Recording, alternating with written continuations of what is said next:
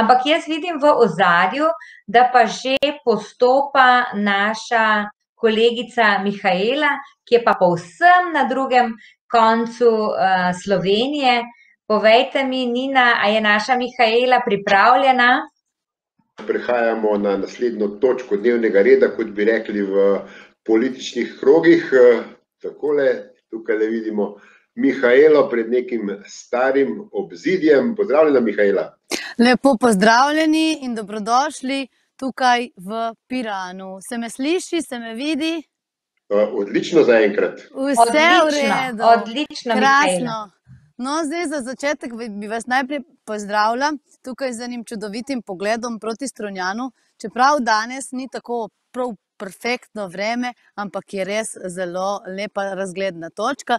Tukaj vidimo proti Fiesi je trenutno tudi uh, zaprta pot zaradi uh, plazov, ki se včasih okruši uh, kakšen klif, tako da Fiesa je sedaj nedosegljiva. In uh, jaz pa sem danes tukaj z vami, da vas popeljem uh, malo v Piran. Jaz sem Mihaela, lokalna turistična vodnica, animatorka in interpretatorka, in danes bomo uh, obiskali Piran. Uh, videli bomo znamenitosti Tartinijevega trga in uh, doživeli Piran na en tak uh, zanimiv način. V bistvu se gre bolj uh, za povabilo za naslednji vaš izlet v Piran in vas uh, veselo pričakujemo uh, tukaj uh, na obali, tudi s piranskimi pešpotmi, ki jih bom pa seveda predstavila sicer iz Bovca, ko grem domov ta vikend. In predstavila bom šest piranskih pešpoti, ki peljejo dejansko po skritih kotičkih tega našega um, bisera, čudovitega prostora Portoroš Piran.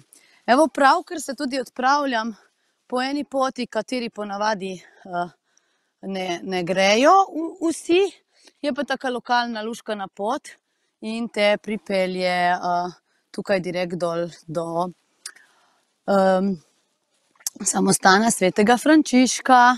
Evo, misli ste, kako ste drugače danes? Ste dobro, lahko napišete kakšen uh, všeček ali pa kakšen komentar. E, tako, evo, zdaj bom pa provala obrniti uh, kamero v drugo stran. Tako, tako, tako, tako. Uh. Mm. No, boste pa še mene malo pospremljali. Živijo, živijo. Živijo, živijo. Pozdravljeni. Lep, lep, lep pozdrav. Kako ste? Dobro, jaz sem super. Čeprav nam nagaja malo ta tehnologija, ampak verjamem, da boste uživali v tem čudovitem pogledu Pirana. Uh, jaz bom kar pohitela na Tartinijeve trg, zaradi tega, ker bo mogoče čas uh, nekoliko skrajšan, omejen. Uh, kot omenjeno, že v samem tem času, kot ga imamo 20 uh, minutk, uh, je težko predstaviti ta čudoviti biser, je zelo pomembno, uh, da pridete in ga tukaj doživite. Zdaj od te točke, uh, jaz se nahajam na enem takem mičkenem trgu, kle pred um, cerkvijo uh, svetega Frančiška. Vidite, to je ta cerkev. Uh, in iz tle se tudi vidi čudovit pogled na uh, glavni zvonik. Na glavni zvonik. To je enak, kakršen je bil v Benetkah. In Piran, kot je že Mateja omenila, je, so slovenske Benetke, vendar ulice nimajo vode. To je res zelo zanimivo.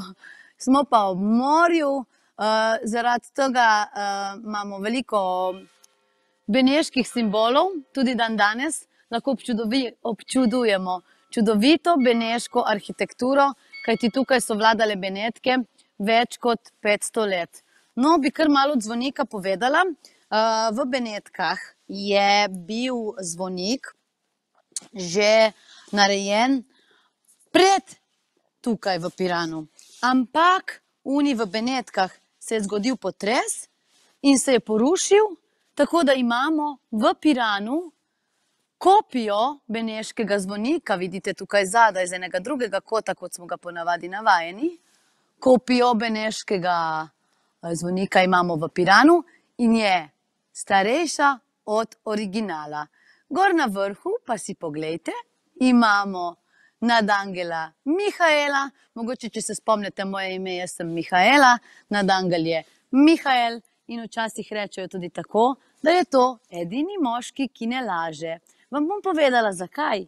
Zaradi tega, ker vedno se obrača kakor veter in reče, kadar je lepo vreme, se obrne proti uh, morju. Se pravi, dovoli domačinom, da grejo pluti na morje in da je varno.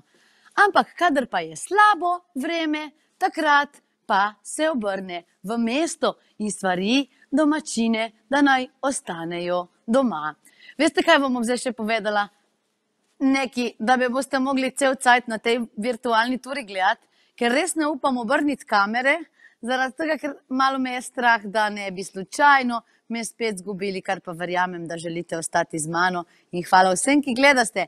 Pokazala vam bom eno čudovito uh, stavbo, vidite, tukaj gor. O, čakaj, In to je ena taka beneška, tudi znamenitost. To je trifora. Vidite, tri okna so skupaj in gor sta dve um, človeške glave.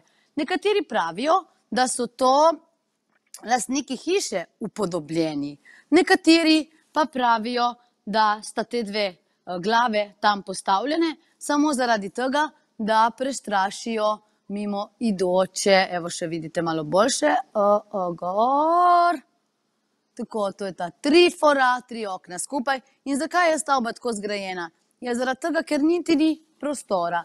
Se pa tudi zadeve posodabljajo tukaj v našem okolju, vidite, imamo tudi nove um, hotele, nove stavbe, nove um, nastanitvene zmogljivosti.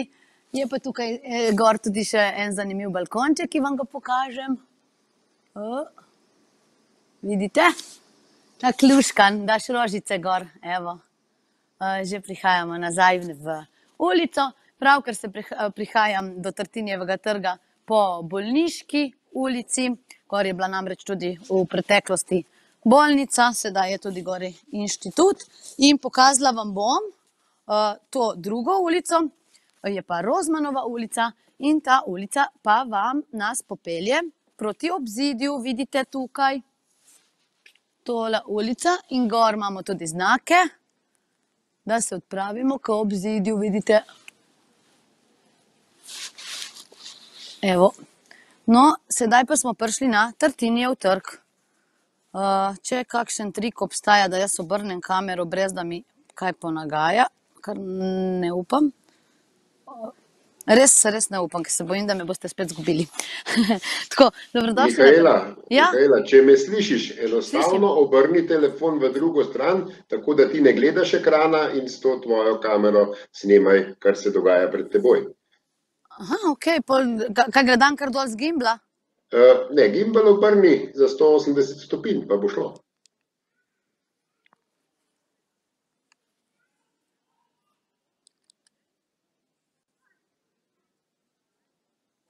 Ali pa gremo kar tako naprej, pa se ti sprehajajo v rikverc, pa ne ti vazi, da ne pohodiš. Ne sej, otroke sem, otroke sem že dala tam na Rozmanovi ulici, je tudi tako čudovito igrišče, tako da se tam igrajo. V mojem ozadju je pa crkev svetega Petra in gor na crkvijo vidite je relief, kako sveti Petr izroča ključe. No, ta crkev je namreč stala že uh, tukaj, uh, takrat, ko je bilo še morje, in je stala izven obzidja. Zgrajena je bila uh, 1100, uh, 1212. leta, potem pa je bila tudi obnovljena kasneje v neoklasicističnem slogu. Zanimivo v Piranu imamo namreč kar deset crkva še ohranjenih, v preteklosti pa jih je bilo več kot 20.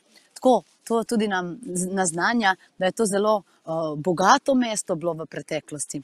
Dan danes pa je tukaj eh, prebivalcev približno 4000 eh, in eh, je mestece zelo zanimivo z turističnega vidika. Tukaj vidite, zad za mano se nahaja hotel Tartini, ima tudi čudovito teraso gor na vrhu, takole. In potem imamo na tej stavbi tudi gor po enih stopničkah prideš in prideš na magični svet školk, tudi en tak zanimiv muzejček. Jaz bi tukaj še pokukala na tem mestu uh, prijatelju Razaku, ki ima tukaj eno čudovito luškano galerijo. Tako da, ko boste se potepali, Razak, spet sem tukaj virtualno, vidi me. Uh, tukaj smo pri Razaku, Razak nam lahko malo pomaha. Uh, Razak je um, sedaj iz Pirana, drugače pa je iz Irana. Vidite ga, Razak, evo, živijo Razak, malo pomahaš, lahko, kaj da? Imamo pa, spremljamo Mednarodni dan turističnih vodnikov in nas spremljajo iz cele Slovenije. Tako Razak en čudovit umetnik ustvarja tudi krasne uh, fotografije Pirana. Evo se že premikamo naprej. Uh, še z te strani boste videli, kako je pravkar prispel lokalni avtobus uh, Fornače.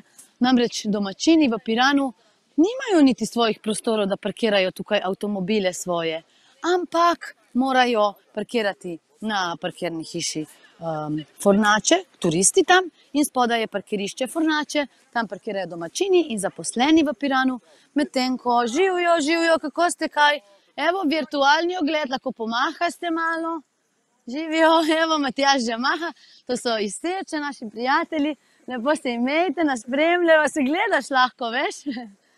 Ja, na uh, kanalu Facebook smo, uh, Argos kanal Facebook, lahko pogledaš.